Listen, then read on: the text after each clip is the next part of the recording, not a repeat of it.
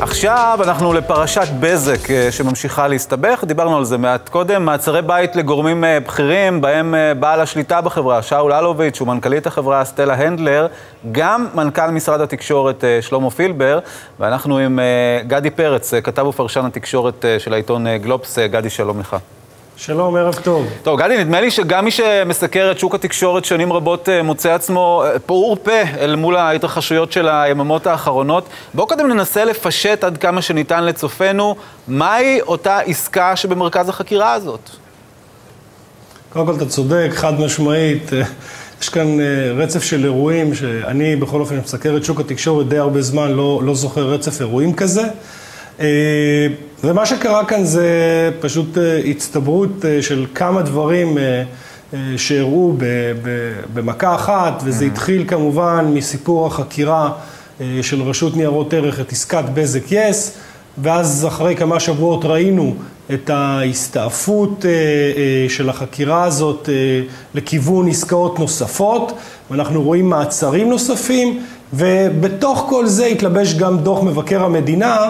וככה, אתה יודע, נתן, נתן את הפוש שלו, ובקיצור אנחנו עדים להתרחשות אה, רבת משמעות בשוק התקשורת, התרחשות שאכן לא, לא הייתה כמוה בשנים האחרונות. שמהן העבירות העיקריות אה, שעליהן אנחנו מדברים בעצם? אם אני אנסה כאילו לפשט את זה, גבו מחירים מאוד מאוד גבוהים.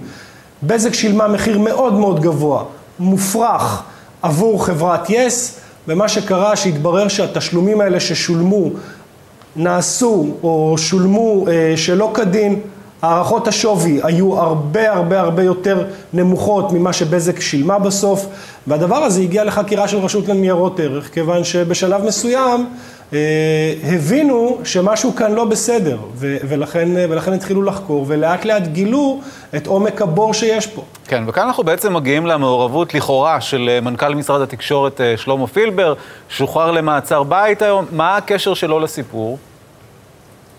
תראה, בסוף אנחנו מסקרים את שוק התקשורת, כתבי התקשורת במשך, בשנתיים האחרונות שהוא, שהוא משמש כמנכ"ל, ואנחנו רואים סדרה של אירועים אה, סדרה של החלטות שנוגעות לבזק, ואנחנו כל הזמן שואלים את עצמנו, רגע, איך זה בעצם יכול להיות ש, אה, שהמשרד שמפקח על בזק בעצם לא מפקח עליה? ואתה רואה שבסוף מתנהל משרד או מתקבלות החלטות שאיך נאמר את זה בעדינות, לא ממש משרתות את הציבור. Mm-hmm. טכנית, הכל בסדר, לכאורה הכל נראה חוקי, אבל כשאתה מפשפש ואתה חופר ואתה, ואתה ככה נכנס לעובי הקורה, אתה בעצם רואה שהתמונה שעולה ממסכת הקשרים הזאת בין אלוביץ' לבין, בז, בין אה, אלוביץ' לבין פילבר, בין בזק לבין פילבר, אתה רואה שהיא לא הייתה כל כך תמימה כמו, ש, כמו שכולם חשבו, כן. וכנראה שגילו שם דברים ש...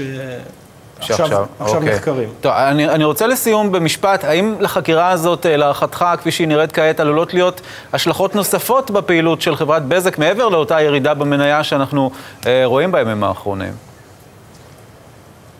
אני חושב שבזק אה, אחרי החקירה הזאת לא תחזור להיות מה שהיא הייתה. אני לא חושב שאפשר יהיה להמשיך ולהתנהל כמו שהחברה הזאת התנהלה עד היום.